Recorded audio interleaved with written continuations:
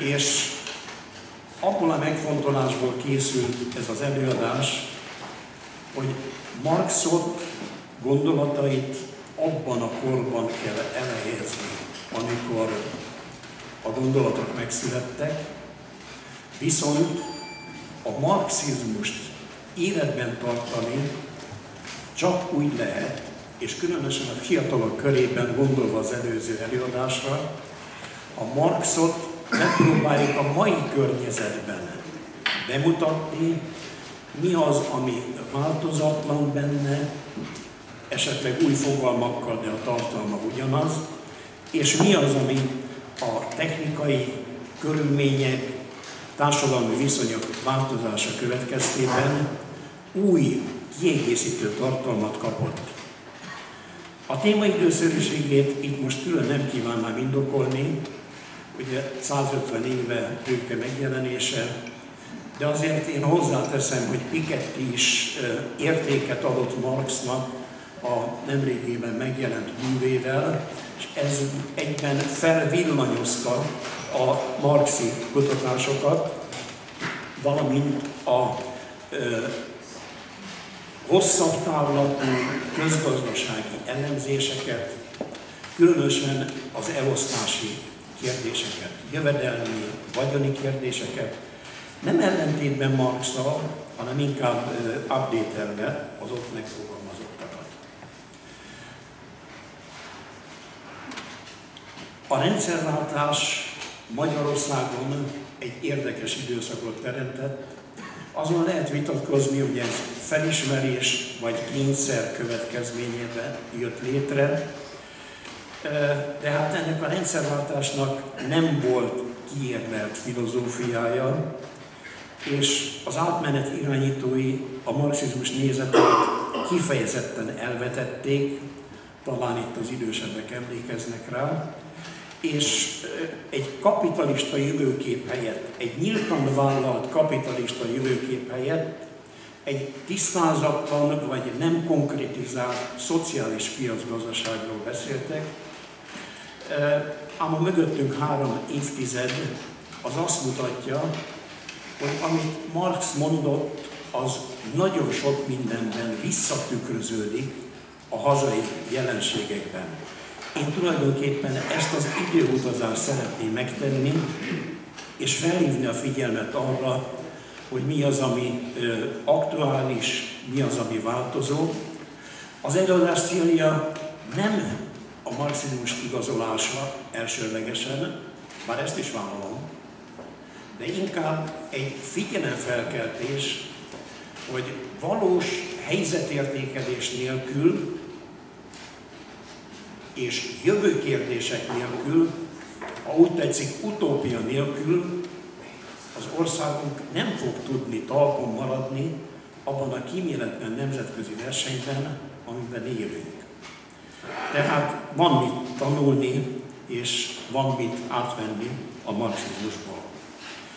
A kiinduló gondolatok között párhuzamot igyekeztem vonni az eredeti tőkefelhalmozás klasszikus jellemzői, és az eredeti tőkefelhalmozás hát legújabb kori és magyar jellemzőiről. Elnézést kérek, tudom, hátul ez kevésbé lehet látni, ami a klasszikus ismérveket jellemzi, azokat nem ismertetném, viszont arra fölhívnám a figyelmet, ami az egészen eredeti tőkefelhalmozás hazai jelenségeiből említést érdemel. Így az eredeti tőkefelhalmozás Magyarországon nem a tőkék tőkésítéséből keletkezett, hanem az állami vagyon elosztásából, és akik ehhez az állami vagyonhoz közelebb voltak, információs előnyben voltak, hát azok többet tudtak meríteni vagy szakítani ebből a közösség által felhalmozott vagyonból. És nem biztos, hogy mindig érdemi szerint.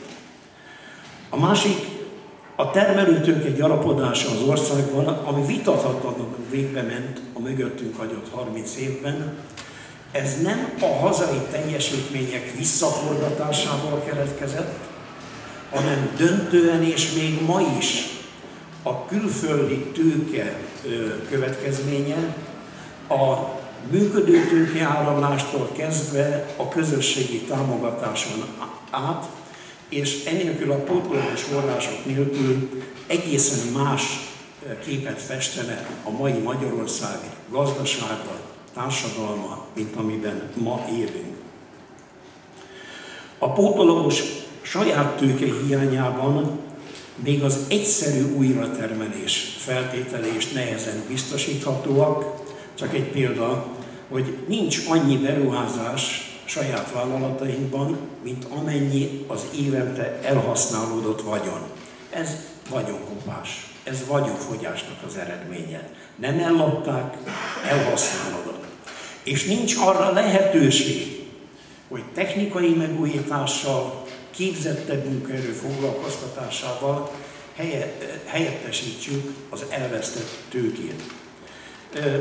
Szavakban nemzeti jelleg érvényesül, különösképpen a 2010 utáni időszakban, de valóságosan ez a nemzeti jelleg nem tud érvényesülni a globális környezet nélkül, ezt majd szeretném bemutatni.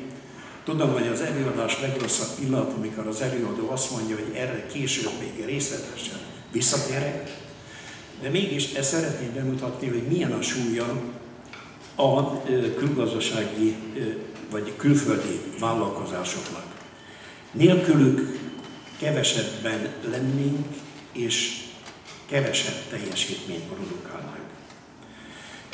Magyarországnak a globális munkamegosztásban való részvétel most egy kicsit túllépve a marxi szabadkereskedelmes és nemzeti gondolkodáson, érdekünk és nem áldozat számunkra a globális munkamegosztásban való részvétel.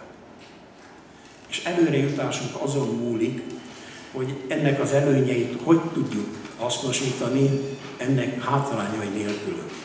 Egy nagyon rövid időutazás a GDP alakulásról, itt jön elő a kényszer, itt jön elő a kérdés, hogy kényszer vagy felismerés eredménye, az államadóságról,